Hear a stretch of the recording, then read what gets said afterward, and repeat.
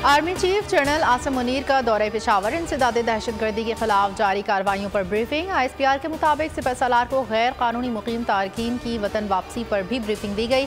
Army chief की बहादुरी का मुजाहरा करने वाले अफसरान और जवानों से मुलाकात, कहा कौम को मुसलह अफवाज की कारकर्दगी पर फख्र है। कामयाबी पाकिस्तान का मुकदर है।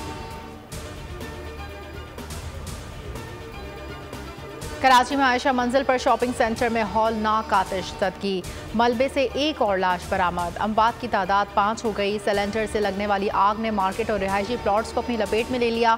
सौ से जायद दुकानें, फ्लैट्स और गोदाम शदीद मुतासर हुए। कई गाड़ियाँ और मोटरसाइकिलें राख। ऑपरेशन में तेरह फायर टेंडर्स, नाकल, पाक बहरिया और रेंजर्स के जवानों ने हिस्सा लिया।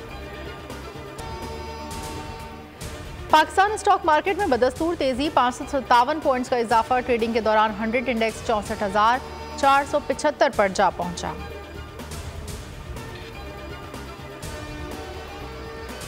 शफाफ और पुरम इंतबात के लिए पूरी तरह तैयार हैं। Chief election commissioner Sikandar Sultan Raja, कौमी वोटर्स डे पर पुरज़म कहा, इलेक्शन कमीशन अपनी तमाम आइनी और कानूनी जिम्मेदारियों से बखूबी आगाह है। मजीद बोले, चंद रोज़ में इलेक्शन शेड्यूल जारी कर दिया जाएगा। पोलिंग आठ फरवरी 2024 को होगी। लतीफ़ खोसा और बुशरा बीबी के audio leak case, Islamabad high court का एफआईए को ऑडियो के फॉरेंसिक का हुक्म। रिमार्क्स दिए, तहकीकात की जाए, सबसे पहले ऑडियो कहाँ से जारी हुई? एफआईए पैमरा और पीटीए से जवाब तलब। कहा पैमरा बताए, निजी गुफ्तगु कैसे टीवी पर नशर हुई? दरखास्त की कॉपी डीजीआईएसआई को भी भेजने का हुक्म।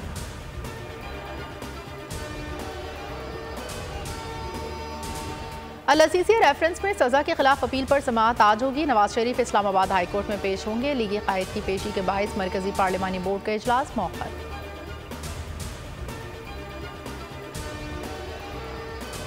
गजा पर इसराइल की बरबरीत को दो माह हो गए। तीन पनाह गुजीन कैंपों पर बमबारी, मजीद दस फलस्तनी शहीद, जख्मियों की हालत तशवीशनाक। मगरबी किनारे में भी बमबारी से चार फलस्तनी शहीद, सहूनी फौज का दस हज़ार फिजाई हमले करने का एतराफ़। हमलों में मजीद तेज़ी लाने का ऐलान। शहादतों की मजमू तादाद सोलह हज़ार से जायद तैंतालीस हज़ार जख्मी। पंजाब और खैबर पख्तूनख्वा के मैदानी इलाकों में शदीद धुंध मोटरवे एम वन सवाबी से पेशावर टोल प्लाजा तक बंद। एम फाइव ज़ाहिर पीर, ताओत शरीफ बंद। लाहौर आज भी आलूदा तरीन शहरों में पहले नंबर पर। सब्सक्राइब करें और बेल दबाएँ ताकि कोई खबर रह न जाए।